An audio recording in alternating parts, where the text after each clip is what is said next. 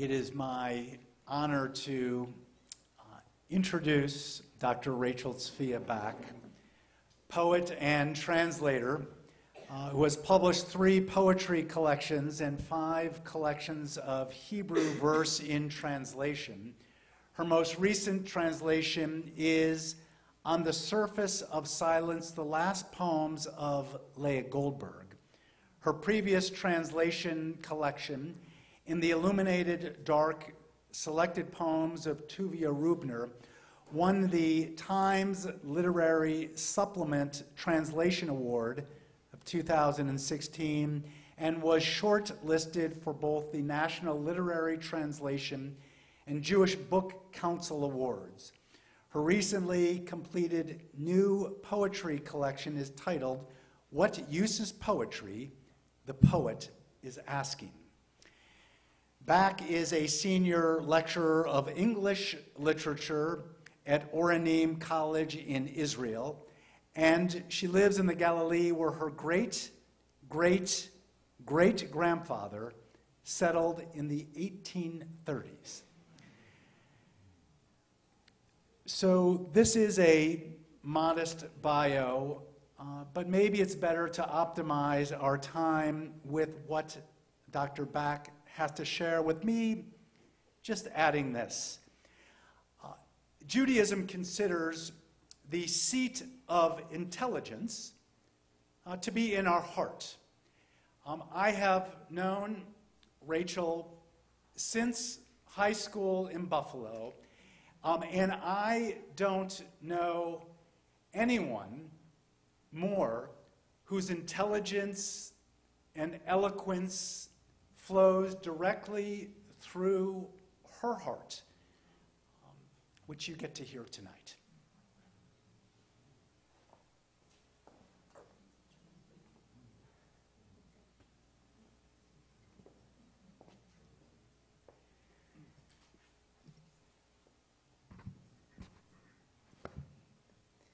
Thank you, Rabbi Linder. Thank you for having me back. I visited here exactly five years ago, and it's an honor and delight to return. I am overwhelmed by the vibrancy of your congregation. I don't know if you know how extraordinary it is. It's a wonder to behold. I also feel quite privileged to be here on a Bat Mitzvah Shabbat, Mazal Tov Drew. It was a privilege to hear you sing and to watch your parents' faces. Whole galaxies were lit up at that moment. On my previous visit here, I spoke from this bima on Parashat Truma, last week's parasha. I started my drasha, my sermon then, by sharing with you how upon reading Truma, with its detailed set of instructions to the people of Israel on how to build the Mikdash, the sanctuary, I felt disappointment. With verse after verse giving blueprint style measurements, materials, and building directions, Truma, on first glance, is hardly an enthralling parasha, though of course there were and there are treasures hidden within. This time, after Rabbi Linder told me that I would be speaking here on Shabbat Zechor, the Shabbat before Purim, and considered thus a special Shabbat, I must tell you that what I felt was not disappointment but rather something closer to panic. it was unclear to me how I could talk about this week's reading at all. Allow me to contextualize the meaning in the biblical texts of Shabbat Zechor. On this special Shabbat, additional verses are added to the regular Torah portion, and an entirely different haftarah is read after the Torah portion. Both the additional verses and the Haftarah are all about Amalek.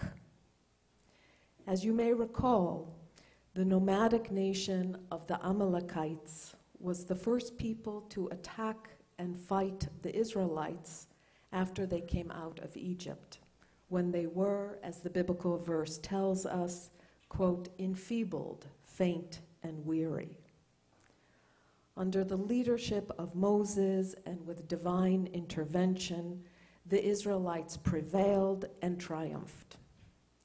At battle's end, in verses from the book of Exodus, which are repeated with even greater fierceness in the book of Deuteronomy, the Israelites are given three commandments, and these three commandments are part of the 613. And these commandments are one, to remember what Amalek did to you, to blot out the remembrance of Amalek from under the heavens, that's two, and finally, three, to not forget. What is the connection to Purim, you may be asking? As Jewish tradition has it, Haman is a descendant of the Amalekites and one of the reasons given for the tradition of making noise enough to drown out Haman's name during the Megillah reading is to fulfill the commandment of blotting out the Amalek in this symbolic way. Now you know why you do it. That's the context in a nutshell an ancient tale of warfare and retaliation a foe named as arch enemy to be remembered always. So you may be wondering, why my panic on learning that this would be the Shabbat on which I would speak? The reason has to do with what Amalek has come to signify in our Jewish and Israeli culture and tradition, and the lessons we are supposed to learn from the story of Amalek. Amalek is every nation that has ever risen up against us, and there have been many. Amalek is Haman. Amalek is Hitler. Amalek is, or was for many years, Arafat and the PLO. Amalek is Hamas and Hezbollah. For some Jews today, and some Israelis, Amalek is every Arab and Palestinian, those whose presence and claims are viewed as a challenge to Jewish sovereignty in the Jewish homeland. And the directive, remember what Amalek has done unto you, is transformed into a litany of all the bloodshed, the terrorist attacks, the refrain of what they did to us. The directive to remember it all becomes an ethos of remembering and not forgiving, an ethos of refusing to look forward, an ethos of believing there is only one narrative and only one truth in the bloody broken, and very beloved Israeli landscape.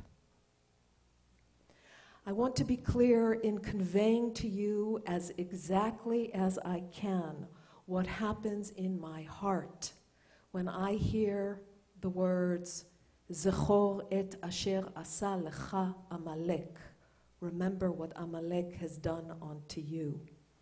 And I am speaking as an Israeli and a Jew both. These words are not metaphoric or symbolic. They are not at a historical remove. In the world in which I live, the ancient modern land of Israel, these words are taken at face value. Hence, these words strike fear in my heart because they are insisting on a vengefulness that I know will lead to nothing but more violence. These words reject the possibility of any resolution in my region, of any accord that will necessarily demand of both sides compromise and concessions. These words seem to demand that we Jews and we Israelis live on the sword and by the sword until all Amalekites are blotted out from under the heavens, which will never happen. Of course, I'm not suggesting we should forget the catastrophes of our past. I know, as we all do, how essential remembering is to our tradition and our survival. It is remembering that has preserved us against all odds.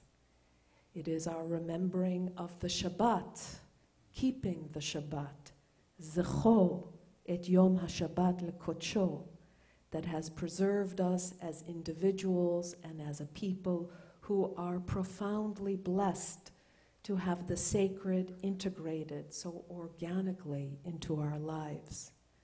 And I'm thinking now of my father of blessed memory, a religious Jew and a workaholic, who used to say that it was not he who kept the Sabbath, but rather the Sabbath that kept him, kept him sane and healthy, gifting him every single week with a full 25 hours of rest and family togetherness. And it is our remembering of our past as slaves and strangers in a foreign land, v'zacharta, ki eved hayita be'eretz Mitzrayim, that has led to a compassion and care for all the dispossessed and oppressed, a compassion and care that is also an intrinsic element of our religion. But I have seen in these last decades how the commandment to remember the violence visited upon us from the pogroms and the Holocaust through every war and every terrorist attack, how it has hardened our hearts as a people, has made us deaf and blind to the sufferings of others, has led to an entrenched and damaging self righteousness, has damaged our younger generations as they imbibe these traumas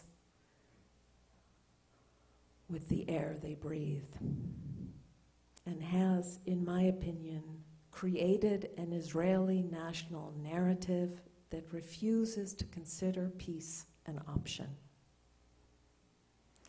The directive, remember what Amalek has done unto you, keeps us ever wedded to a victim position, which leads to nothing but more victims.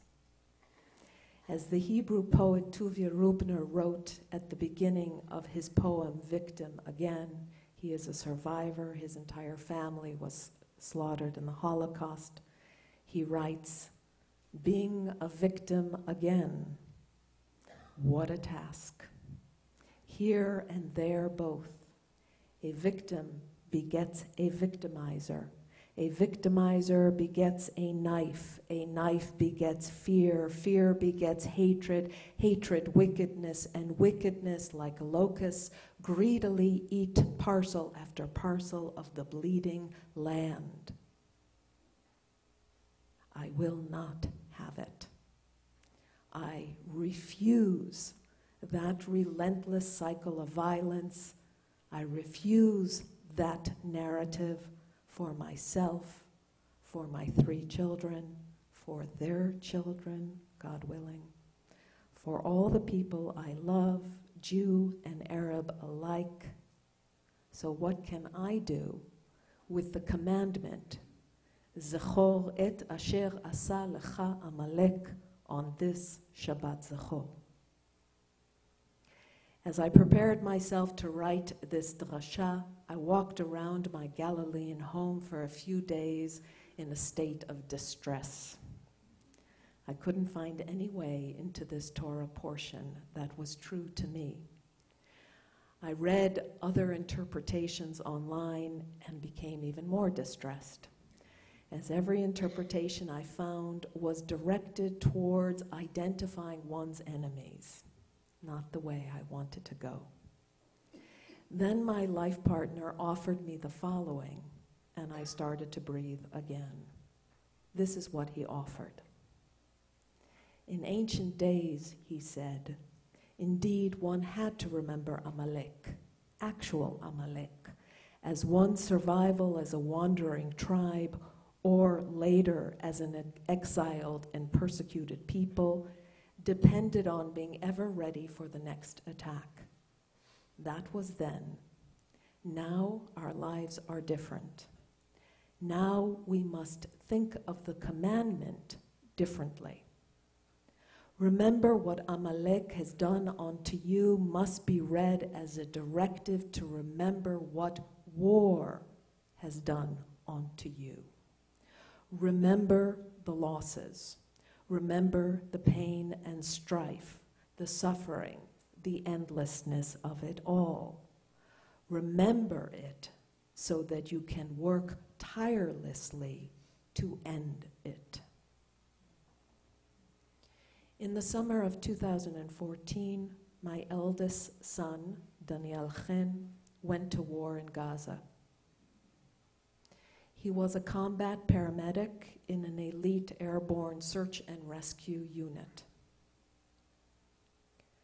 For three weeks, he and his unit gathered up wounded soldiers from Gaza, ministered first life saving measures, measures, then hurried them onto helicopters, taking them to Soroka Hospital in Beersheba.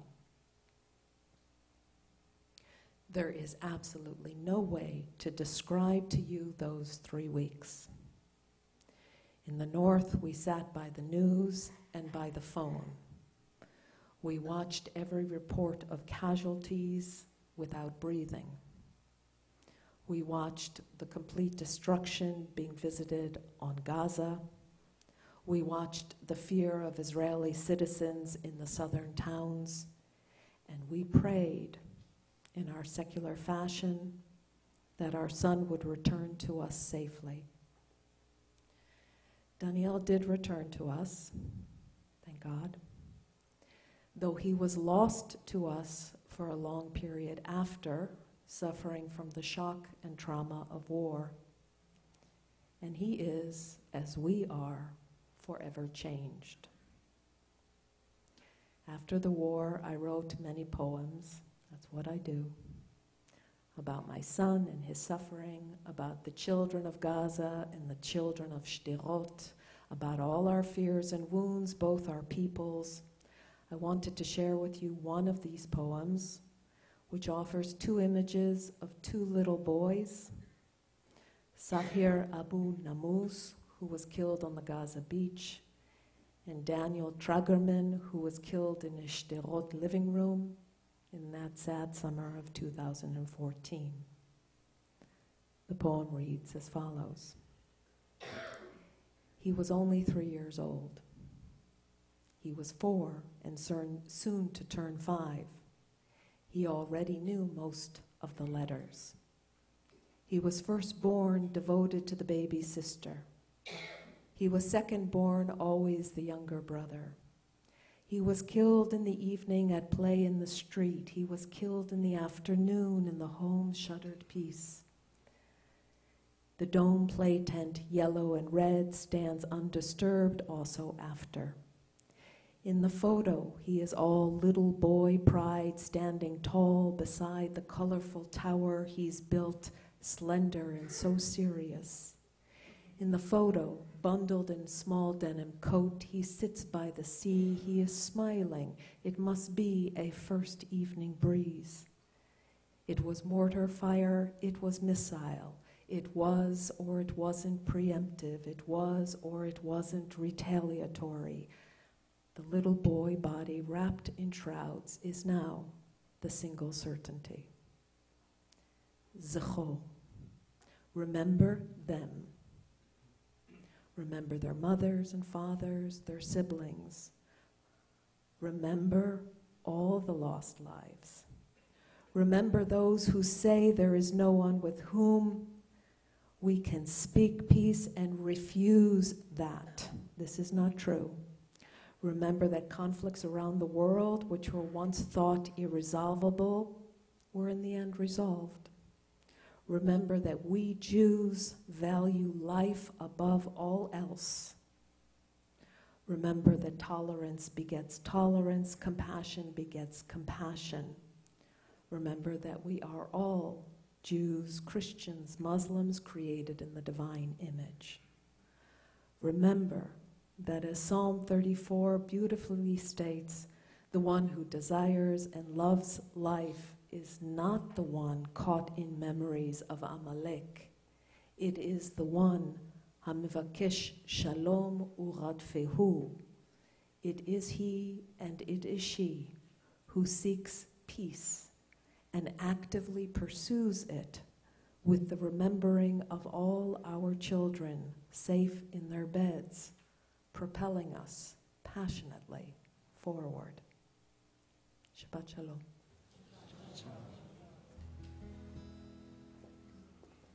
יהיו לרצון אמרפי אמרפי והגיון ליבי לפניך יהיו לרצון אמרפי אמרפי והגיון